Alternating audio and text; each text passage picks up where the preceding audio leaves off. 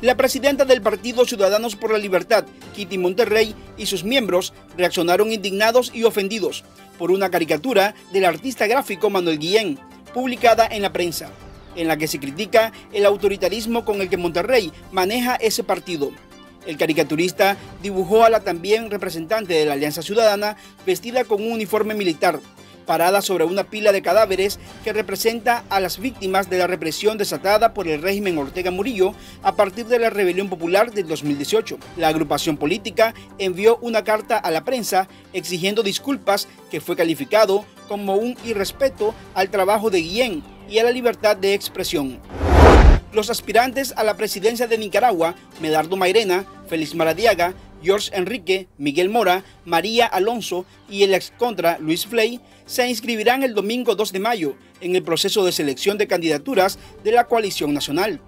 Los aspirantes a derrocar al dictador Daniel Ortega en unas posibles elecciones firmarán el Acuerdo Democrático de Unidad y Participación, en el que aceptan el compromiso de llevar a cabo el programa Proyecto de Nación y respetar todos los procesos de elección del candidato a la silla presidencial del país. La iniciativa de ley de reforzamiento de la adherencia de Nicaragua a las condiciones para la reforma electoral de 2021, conocida como Ley Renacer, fue presentada este 30 de abril ante el Consejo de Estados Unidos. El proyecto de ley impulsado en conjunto por republicanos y demócratas, pretende promover elecciones democráticas en Nicaragua y responsabilizar al régimen de Ortega por sus abusos continuos contra los derechos humanos.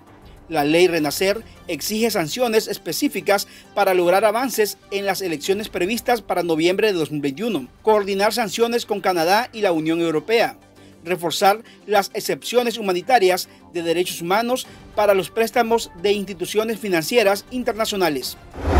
Las autoridades de la Universidad Centroamericana UCA notificaron a sus estudiantes que para prevenir brotes del COVID-19 y ante la información de especialistas de una segunda ola de contagio en el país, a partir del miércoles 5 de mayo se suspenderán las clases presenciales y se retomará la modalidad virtual, misma que se empleó en la primera ola de coronavirus en Nicaragua.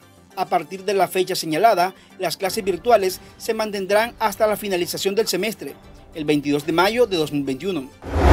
Amigos, colegas y familiares dieron el último adiós a la periodista Ileana Lacayo Ortiz con una misa solemne celebrada en el atrio de la Catedral Nuestra Señora del Rosario en Bluefields. En un ataúd blanco, cobijado con la bandera de Nicaragua, fue despedida la periodista de 47 años, reconocida por su defensa por los derechos humanos, la libertad de expresión y demanda de justicia en el país. Las honras fúnebres se realizaron en medio del hostigamiento de la policía del régimen de Daniel Ortega.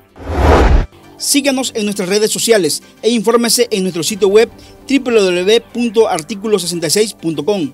Les informó Noel Miranda.